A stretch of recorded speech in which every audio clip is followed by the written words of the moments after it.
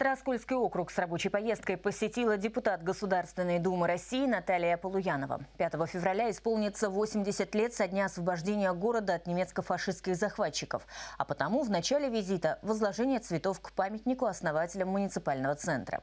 После народный избранник встретилась с ветераном Евгением Андриановичем Ивановым. В конце 2022-го он отметил вековой юбилей. Во время Великой Отечественной служил в разведке. В 41-м был ранен под Курском. Артиллеристом дошел до Берлина и расписался на Рейхстаге.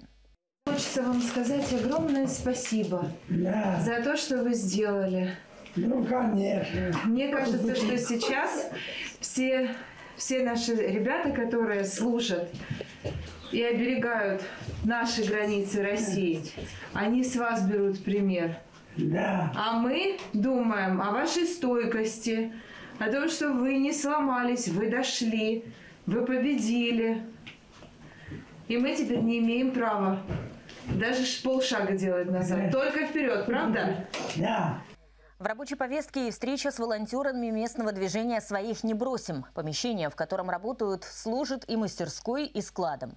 Ребята изготавливают маскировочные сети для военнослужащих, собирают гуманитарную помощь. Наталья Полуянова поблагодарила добровольцев за неравнодушие. Это зов души.